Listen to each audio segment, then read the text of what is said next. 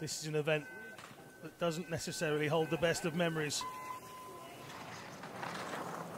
Yeah, uh, a fifth in 2010, a uh, fourth in 2006. Nothing compared to what happened in Sochi, where she crashed during this event and airlifted from the slopes.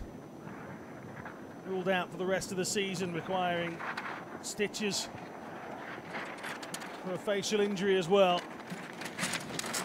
Switched allegiance from the United States of America to Switzerland, the birth country of her husband, Marcel Gewoon, who's her coach as well. He said that uh, he wanted to do that to honour him for everything he sacrificed for me.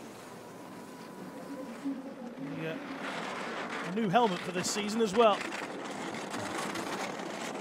Uh, two fighting Eringer cows, which can only be found in Marcel's hometown. She has both the flags, though. She doesn't forget her US heritage, and she doesn't forget how to win. Gold in 2006, gold in 2010.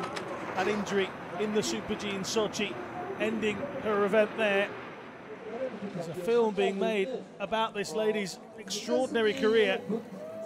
She's going to be outside of the lead times fourth for Stephani Victor. It's not a crash like yesterday. Stephanie will be immensely glad to be at the bottom on day two.